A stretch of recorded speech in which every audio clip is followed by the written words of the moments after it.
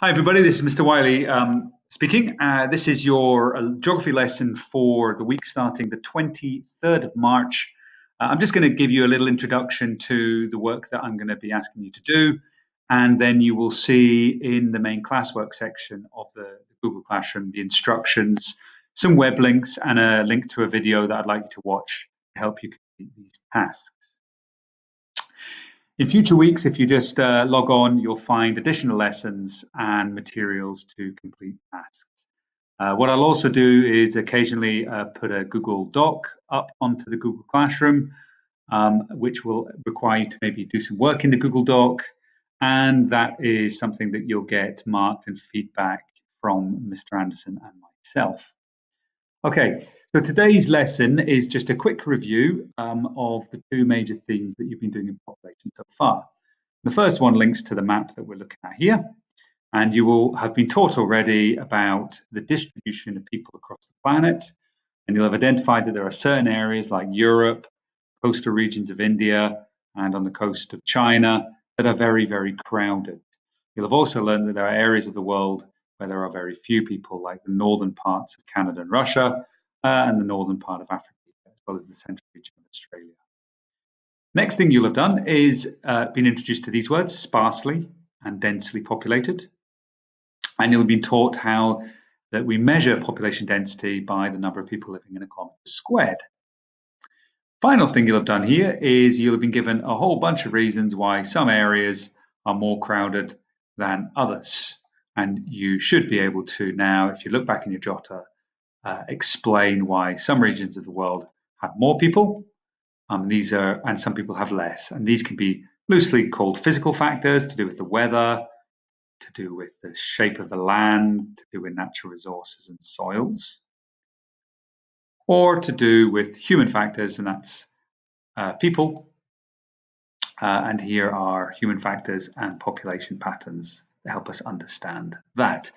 And if you're not sure on any of this, just pause, rewind this video a little bit and just have a quick little read through the website, uh, two web pages that I've been just reviewing.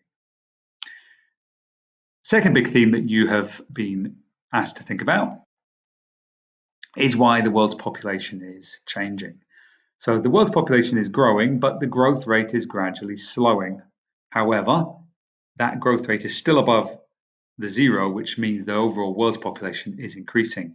And we can see from these purple bars that the world's population in developing countries, these are poorer countries, uh, is increasing very rapidly.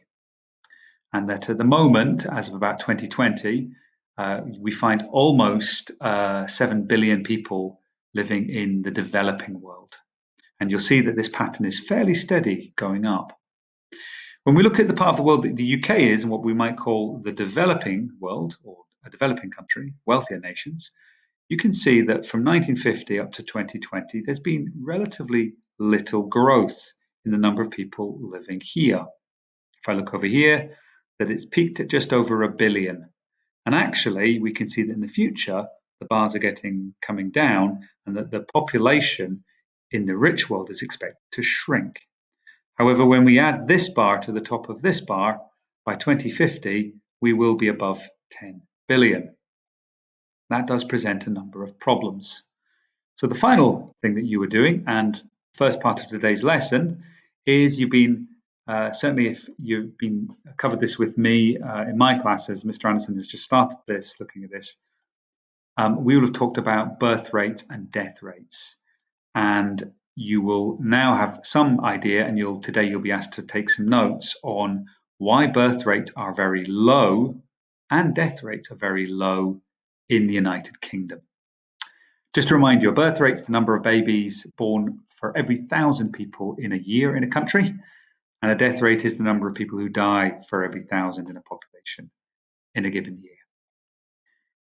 Second thing is that you're going to be asked to do is a task on why population in terms of birth rates are very high or much higher in countries like India.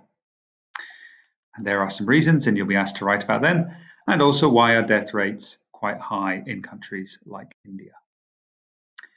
Okay, so that's going to be the first part of the work. The second part of the work is just an introduction to some work we're going to do next week, Um, and you're going to be asked to watch this video, and you'll find a video link in the Google Classwork.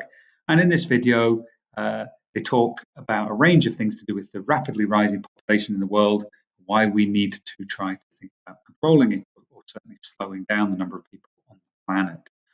So I'd like you to watch this, um, and then there's a little task about you giving some reasons why we need to think about controlling world population growth. And next week, um, we're going to have a little look at what China's done and how that affected China's population. Okay, so that's uh, your work for this week. Hopefully you've uh, listened to some of the key points. You can rewind anything I've said if you want some guidance. Otherwise, what I would suggest you do is now have a look at the Google Classroom in the classwork section and complete all of the tasks in turn. And you have till next Friday. Good luck with this new way of learning, and I will post a new set of activities next week uh, to keep you going through.